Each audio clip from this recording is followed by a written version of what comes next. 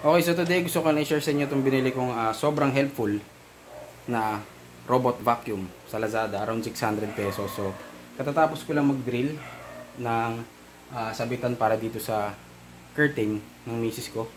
So, ang dami ko pang alikabok. And kakalipat lang kasi namin dito, kaya kung makikita nyo, medyo hindi pa talaga na-plancha itong mga to. So, kinabit ko lang para at least ready na. So, so, so yun, syempre, pag nag-drill ka, maraming may iwan kahit nawalisan mo. So, ito sobrang helpful. So, ito siya. Yan. So, nalinis niya yung mga, ano, mga maliliit na kalat. Lalo na yung mga alikabok dito. Kasi, syempre, minsan kahit mag-iwalisin mo, hindi, hindi natatanggal ka agad eh. Yung dumi. So, ito, malaking tulong. Para sa akin. So, yun subukan nyo try at the same time meron din ito. Alam ko yung ano yung remote.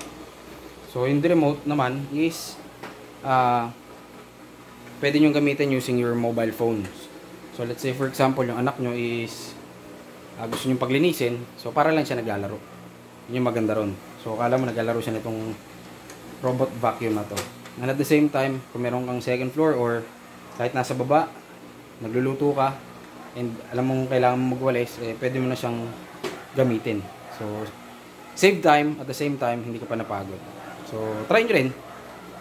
Uh, nakalagay sa description yung link kung saan nyo siya pwedeng mabili.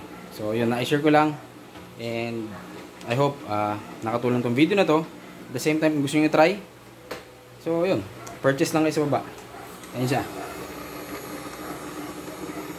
Okay, so kita-kits ulit sa next video. God bless. Peace out.